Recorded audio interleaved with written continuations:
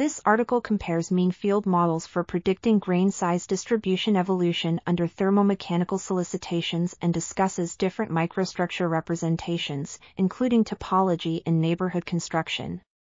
Experimental data from a heat treatment campaign on 316L austenitic stainless steel are used to identify material parameters and compare model predictions. The study shows that introducing neighborhood topology can improve predictions in monomodal cases but has only small improvements in terms of implementation complexity compared to classical mean field models.